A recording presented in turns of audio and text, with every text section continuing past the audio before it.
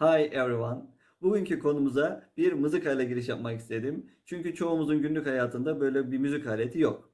Peki what does mızıka mean in English? İngilizce'de mızıka ne demek? Harmonika. Harmonika. Okay? Evet, şimdi konumuza geçelim. Have got, has got.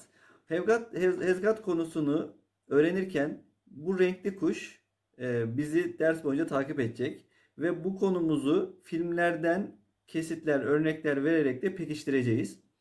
E, have got, has got peki anlam olarak nedir? Sahiplik, sahip olmak anlamında. Hadi bakalım. Evet arkadaşlar. I, you, we, they kişi zamirlerinde yani ben, sen, biz, onlar. Beni ayrı düşünürsek çoğul olan isimlerde have got'ı kullanıyoruz. Have çoğul hali diye düşünün. Daha çok harfle yazılmış Türkçe olarak düşündüğümüzde. He, she, it'te de şuradaki he, she, it'te de has. Daha kısa, daha küçük, e, daha az sayıdaki harflerle yazılmış olarak düşünün. Çoğul olan isimlerde şunlarda have'ı kullandık. E, tekil olanlarda da has'i kullandık diye düşünürsek sorun çözülür. Evet, e, kişi zamirleri haricinde di- diğer isimler kullanıldığı zaman nasıl oluyor bakalım. My friends mesela benim arkadaşlarım. Have got. Ya da the Franklins. The Franklins. Nedir bu? Soy ismini kullanmış Franklinler. Tamam? Franklinler have got. Evet, the girls, kızlar have got. Şimdi bu üçüncü grubu okumuyorum. Bunların hepsi uyabilir. He, she, yerine mesela Elif Rana.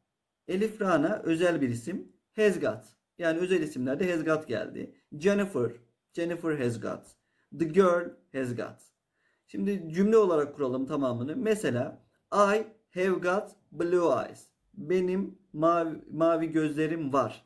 Yani bunu direkt çevirimizde ben mavi gözlere sahibim ya da benim mavi gözlerim var şeklinde çeviri yapabiliriz. Şuradan seçelim. My friends have got a big house. Benim arkadaşlarımın büyük bir evi var. Yani o arkadaşları bir arada kalıyorlar ve onların büyük bir evleri var anlamında. The Franklins have got pets. Franklinlerin ev hayvanları varmış. Yani evcil hayvanları var. She has got some pencils. Onun birkaç kurşun kalemi var. Elif Rana has got storybooks. Elif Rana'nın hikaye kitapları var. The girl has got some money. Kız biraz paraya sahip şeklinde çeviri yapabiliriz. Evet, alıştırma yapalım. Fill in the blanks with have got, has got. Yani boşlukları boşlukları have got ve has got'la dolduralım. Evet, the bird. Şimdi siz önce bir düşünün boşluğu. The bird, bla bla, a green, red and orange beak. Beak, evet bu kuştan bahsediyoruz. Beak gaga. Yeşil, kırmızı ve turuncu bir gagası varmış kuşun. Yani kuş buna sahiptir diyeceğiz. O zaman ne gelir buraya? Have got mı? Has got mı? Evet, tabii ki has got. Evet. Neden? Çünkü tekil isim. Evet. I have got a big family.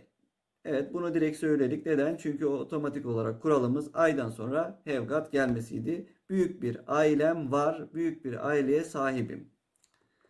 Mary and Susan have got two pencils. Neden have got?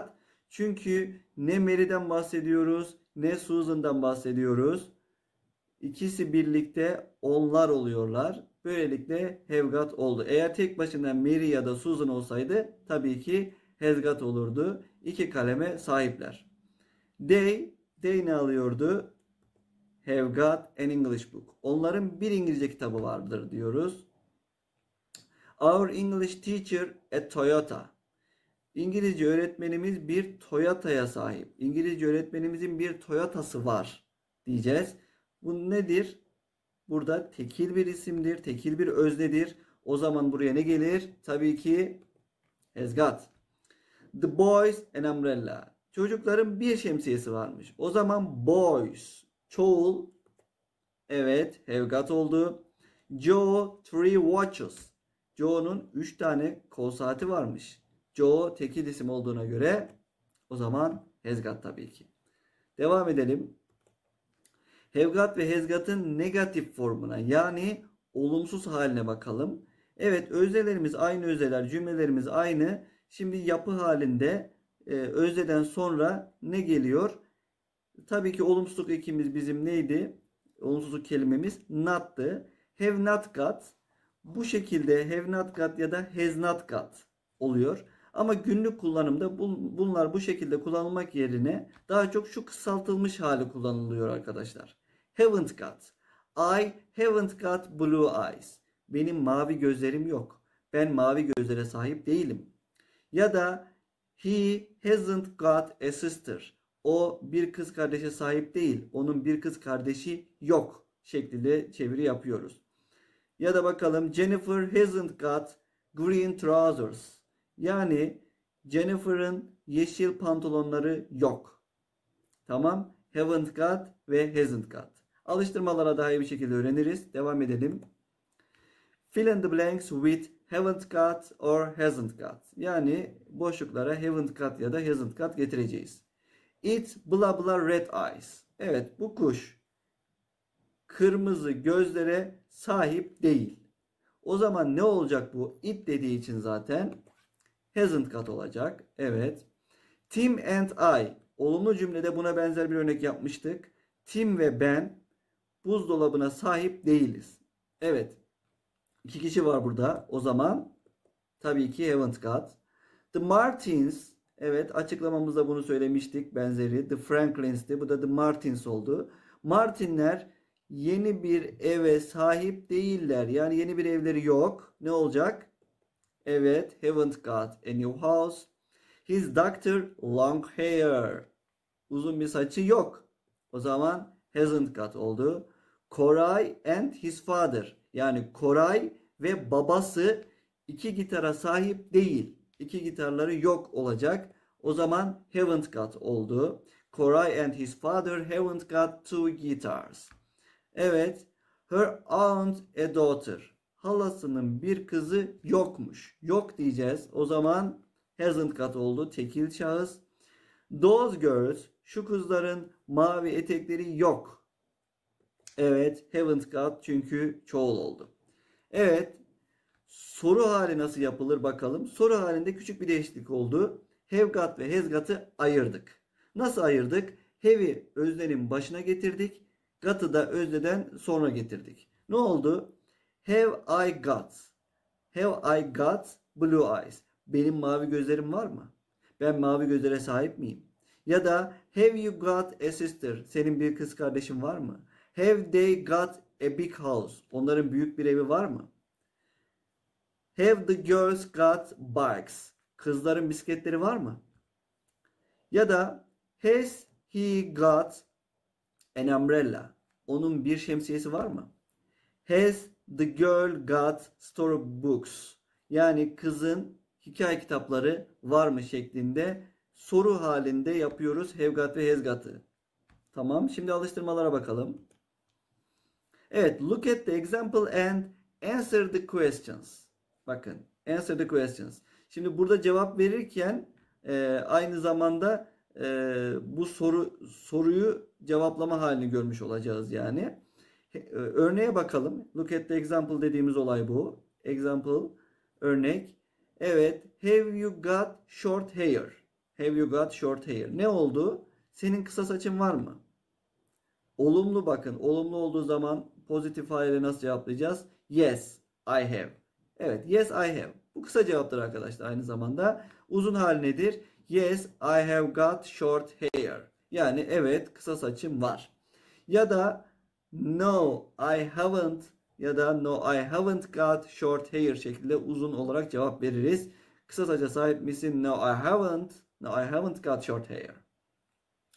Evet, bu have ile sorulmuş olan bir soruydu. Bir de has'li olana bakalım. Has she got a yellow dress? Yani sarı bir elbisesi var mı? Onun olumlu cevabı verelim. Yes she has. Evet var. No she hasn't. Hayır yok. Evet bu sorulara şimdi bu örneklerdeki gibi cevap verelim. Has a cat got five legs? Yani bir kedinin beş bacağı var mıdır? Cevabımız tabii ki negatif olacak. Yani olumsuz bir cevap vereceğiz. Buyurun. No, it hasn't. Yani no, it hasn't got five legs. Evet, kedi beş bacağı sahip değildir oldu. Have Tom and Nick got a bike? Yani Tom ve Nick'in bir bisikleti var mı? Evet diyeceğiz. O zaman yes they have. Tom ve Nick olduğu için they oldu. Has she got an air conditioner? Yani onların bir e, kliması var mı?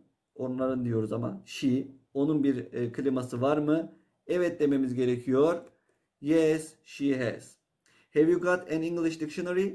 Senin bir İngilizce sözlüğün var mı? Hayır diyeceğiz. No, I haven't. Benim bir İngilizce sözlüğüm yok. Have your friends got red books?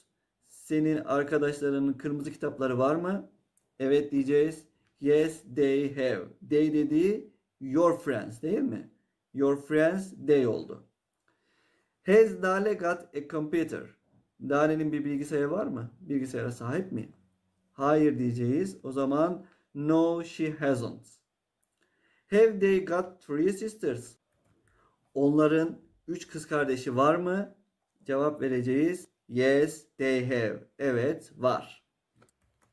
Evet arkadaşlar, şimdi Have Got ve Has Got'ın geçmiş olduğu film kesitlerini izleyelim. Daha sonra bu film kesitlerini durdurarak tek tek inceleyelim. Okey? Hadi bakalım. Ballroom, this is Whiplash One. I've got the bogey in my sight. Whiplash one, what is it? I've got no idea. Sir, I've got a visual on the bogey. Stark Industries. I've got one recommendation. Ready? Ready? You've got 90 seconds.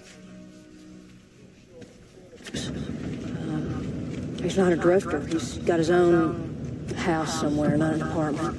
He's in his 30s or 40s. He's got real physical strength. She's got something in her throat. Well, I've got good news and bad news. Evet arkadaşlar, şimdi Have Got ve Has Got'ın geçmiş olduğu yerleri gördük. Şimdi cümleleri inceleyelim kısa kısa.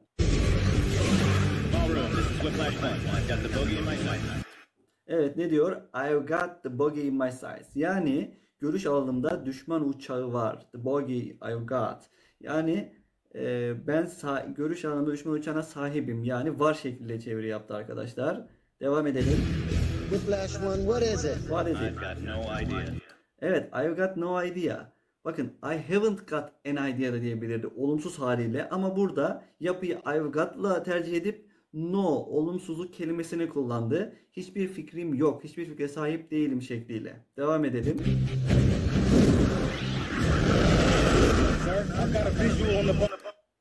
Evet, I've got a visual on the buggy. Yani görüş alanımda düşman uçağına sahibim. Düşman uçağı var. I've got. Ben mi sahibim buna şekilde çevirdik. What have we got? Evet. Neye sahibiz? Neyimiz var? Diyor. Stark Industries. I've got one recommendation. I've got one recommendation. Evet, bir tavsiyem var. Ready? Ready? Ready? You've got 90 seconds. Yes, you've got 90 seconds. Yani 90 saniyen var. Sen 90 saniyeye sahipsin diyor. Bu kadar süre vermiş. He's not a drifter. He's got his own house somewhere, not an apartment. He's got his own house and an apartment. Yani he's got. Bakın burada has got yapısını gördük. Kısa haliyle de bakın has de yapılarını bu şekilde e, iz gibi düşünebilirsiniz. Ama yanında got olduğu için he's got şekliyle has got yapısı gösteriliyor. Müstakil evi var, dairesi değil. He's in his 30s or 40s. He's got real He's got real physical strength. Yani yüksek düzeyde e, fiziksel gücü var anlamında. physical strength. She's got something in her throat. Evet, she's got something in her throat. Yani boğazında bir şey var. She's got gördük. Well, I've got good news and bad news. I've got good news and bad news. Evet tamamen görelim. I've got good news and bad news. İyi haberim ve kötü haberim var. Thank you very much for listening to me. Beni dinlediğiniz için teşekkür ediyorum. Lütfen abone olmadıysanız abone ol tuşuna basmayı ve beğeni tuşuna basmayı unutmayın. See you. Bye.